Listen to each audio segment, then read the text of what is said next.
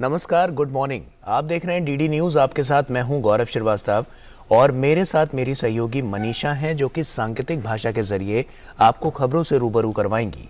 तो खबरों की शुरुआत करें, उससे पहले एक नज़र इस वक्त की हेडलाइंस पर।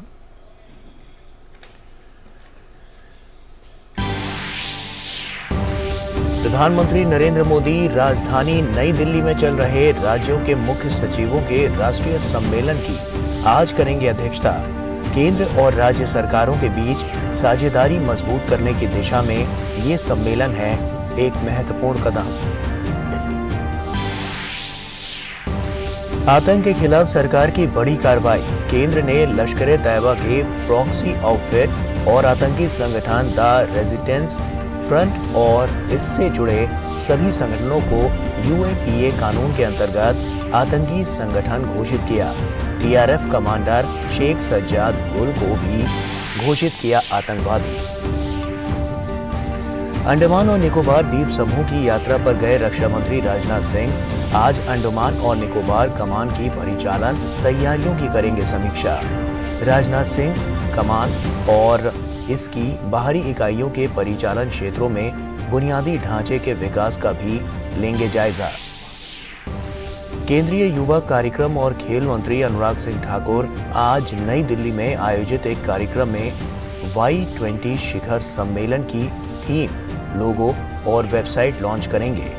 भारत पहली बार वाई ट्वेंटी शिखर सम्मेलन की कर रहा है मेजबानी। उत्तर भारत में शीतलहर और कोहरे का प्रकोप जारी। घने कोहरे के कारण यातायात बुरी तरह से प्रभावित। मौसम विभाग ने राजस्थान के कई जिलों के लिए रेड अलर्ट किया जारी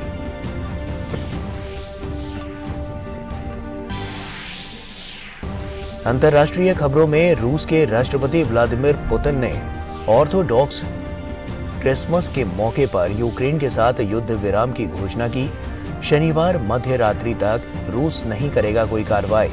रूस के पैट्रियक किरिल ने ऑर्थोडॉक्स क्रिसमस के मौके पर युद्ध विराम का किया था आह्वान। और श्रीलंका के खिलाफ पुणे में खेले गए दूसरे टी मुकाबले में भारत की 16 रनों से हार। जीत ने, जीत के साथ श्रीलंका ने टी श्रृंखला में की एक एक की बराबरी।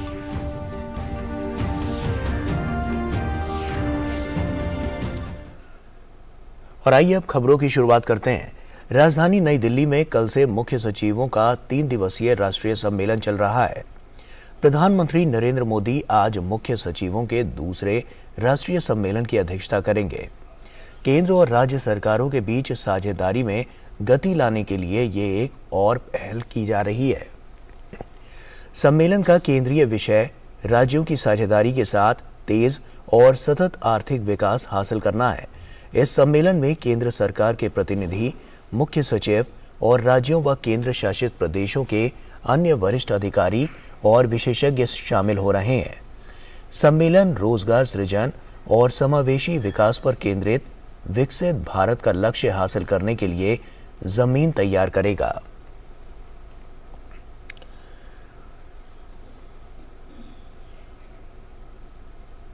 केंद्र सरकार ने लश्कर तैयबा के प्रॉक्सी आउटफिट और आतंकी संगठन द रेजिडेंस फ्रंट और इससे जुड़े सभी संगठनों को गैरकानूनी गतिविधि अधिनियम उन्नीस के अंतर्गत आतंकी संगठन घोषित कर दिया है। केंद्रीय गृह मंत्रालय ने कल एक अधिसूचना जारी कर ये जानकारी दी। अधिसूचना में द रेजिडेंस फ्रंट के कमांडर शेख सज्जाद गुल को भी आतंकी घोषित किया गया। आतंकी संगठन लश्कर तैयबा को मुंबई में हुए 2008 के आतंकी हमलों के लिए जिम्मेदार पाया गया था। इसकी स्थापना करने वाले हाफिज सईद को संयुक्त राष्ट्र ने आतंकी घोषित कर रखा है।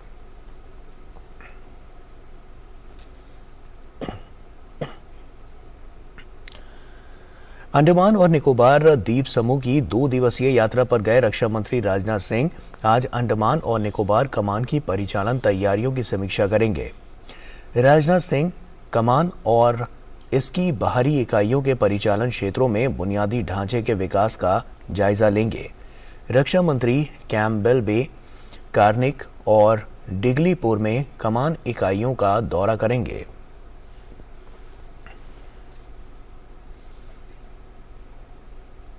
और आइए अब नज़र डालते हैं डीडी प्रीमियर्स पर।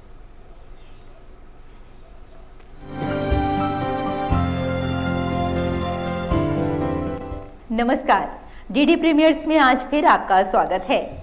मैं हूँ रेशमा आपके साथ और जैसा कि आप जानते ही हैं कि हम अपने इस खास सेगमेंट में आपके साथ बात करते हैं दूरदर्शन के विभिन्न नेटवर्क पर प्रसारित होने वाले कुछ खास कार्यक्रमों की, कुछ खास धारावाहिकों की। तो चलिए बात करते हैं आपके साथ सबसे पहले धारावाहिक बालकृष्ण की। आज के इस धारावाहिक में आप देखेंगे कि घने जंगल में बालकृष्ण और बलराम राधा को और गोपियों को एक बहुत बड़े गज से बचाते हैं। और दूसरी तरफ़ गोकुल में यशोदा मैया और राधा की माँ बेहद परेशान हो रही होती हैं। क्यों करती हो तुम ऐसा? तुमसे कहा था ना कि घर से अधिक दूर मत जाना। क्यों नहीं सुनती हो तुम हमारी? बोलो।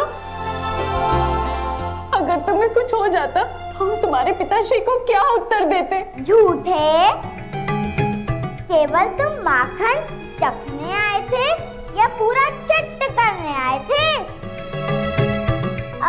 बातें बनाना छोड़ो और चलो यशोदा काकी के पास। अच्छा है इसकी लाल आँखें देखकर मुझे अशुभ संकेत का आभास हो रहा है। कहीं ऐसा ना हो कुछ अशुभ कार्य कर दे। कुछ कीजिए शीघ्र कीजिए। अब क्या होगा आगे? ये जानने के लिए देखिए बाल कृष्ण सोमवार से शुक्रवार रात 9 बजे सिर्फ़ डीडी नेशनल पर और तेजपुर जनरल स्टोर में आज आप देखेंगे कि रिक्की सोनी को बंगले में कैद कर लेता है और पारो सोनी तक किसी तरह पहुँच जाती है। लेकिन दूसरी तरफ़ आकाश पारो पर ही कई सवाल खड़े कर देता है। Hello madam. हाँ जी आपने सोनी मैडम को खुद ड्रॉप किया था या वो खुद गई थी? नहीं ड्रॉप तो मैंने किया था। लेकिन उन्होंने मुझे जाने के लिए बोला। और बोला कि मैं खुद आ जाऊँगी। कहाँ ड्रॉप किया था आपने? मैंने मालवानी में उन्हें ड्रॉप किया था। मालवानी में रोड पर ही वो उतर गए थे। मैं आ गई ना सब ठीक हो जाएगा। बाहर कैसे निकलेंगे? ये आगे सारे डोर्स लॉक डोंट वरी पीछे का एक दरवाज़ा खुला हुआ है। हम बाहर से जा सकते थे okay you just calm down don't worry Paro please tell me please tell me what is going on कोई तो बात होगी पारो प्लीज़ मुझे बताओ। मैं जानना चाहता हूँ पारो मैं जानना चाहता हूँ। अब क्या होगा आगे? ये जानने के लिए देखिए तेजपुर जनरल स्टोर। सोमवार से शुक्रवार रात साढ़े नौ बजे सिर्फ़ डीडी नेशनल पर। तो आप उठाइए इन खास धारावाहिकों का आनंद और हमें यही अनुमति दीजिए। नमस्कार।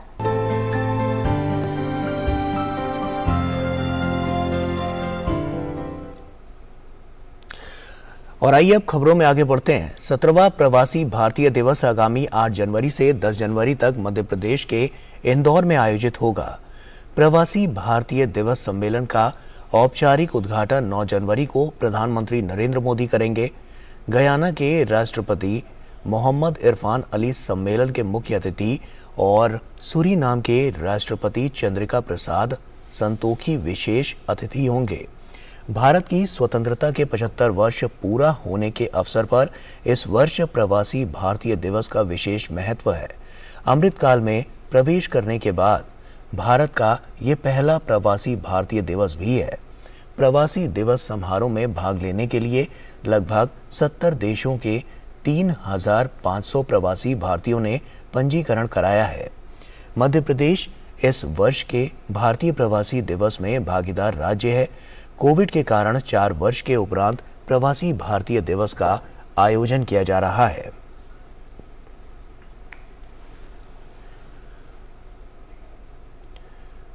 उत्तर भारत में शीतलहर और कोहरे का प्रकोप जारी है। राजस्थान में तेज शीतलहर की स्थिति के मद्देनजर ज़्यादातर जिलों के सरकारी और प्राइवेट स्कूलों में सर्दी की छुट्टियाँ दो दिन और बढ़ा दी गई हैं। सीकर, चुरू, फतेहपुर, माउंट आबू और जयपुर के जोबनेर में न्यूनतम तापमान माइनस में चला गया है। ज़्यादातर शहरों में दिन का पारा भी लुढ़क कर 20 डिग्री सेल्सियस से नीचे आ गया है। कई जिलों में घने कोहरे के कारण रेल और सड़क यातायात पर असर पड़ा है। मौसम विभाग ने अलवर, झुंझुनू, सीकर, चुरू, नागौर और श्रीगंगानगर जिलों में तेज शीतलहर का रेड अलर्ट जारी कर दिया है। इसके अलावा सात जिलों के लिए ऑरेंज तथा 10 ज़िलों के लिए येलो अलर्ट जारी किया गया है।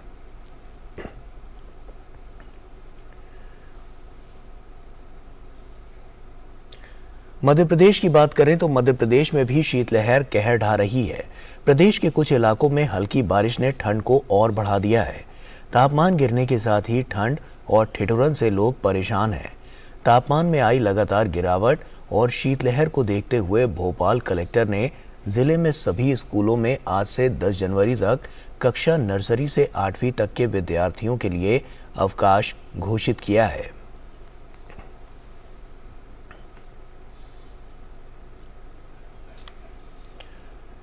रूसी राष्ट्रपति व्लादिमीर पुतिन ने ऑर्थोडॉक्स क्रिसमस को देखते हुए यूक्रेन के साथ जारी संघर्ष के बीच दो दिनों के लिए सीज फायर की घोषणा की है। राष्ट्रपति पुतिन ने रूस के आध्यात्मिक नेता पैट्रियॉर्क किरिल क्रेमलिन के अनुरोध के बाद यूक्रेन के साथ 6 से 7 जनवरी तक संघर्ष विराम की घोषणा का आदेश जारी किया है।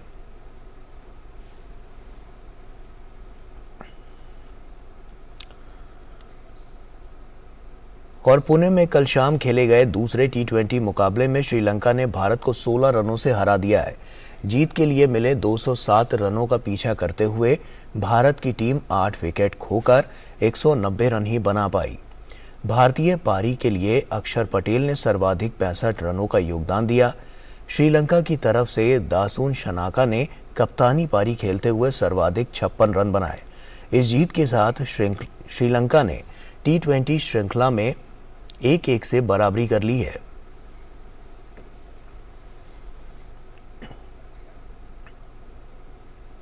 भारत और पाकिस्तान की टीमें एशिया कप 2023 में एक बार फिर से आमने सामने होंगी। दरअसल, एशिया क्रिकेट काउंसिल ने 2023 के लिए कैलेंडर जारी किया है, जिसमें भारत और पाकिस्तान को एक ग्रुप में रखा है। इसका सीधा सा मतलब है कि दोनों टीमें आपस में मुकाबला खेलेंगी। भारत और पाकिस्तान के ग्रुप में तीसरी टीम क्वालिफायर के ज़रिए तय होगी। इस साल एशिया कप वनडे प्रारूप में खेला जाएगा।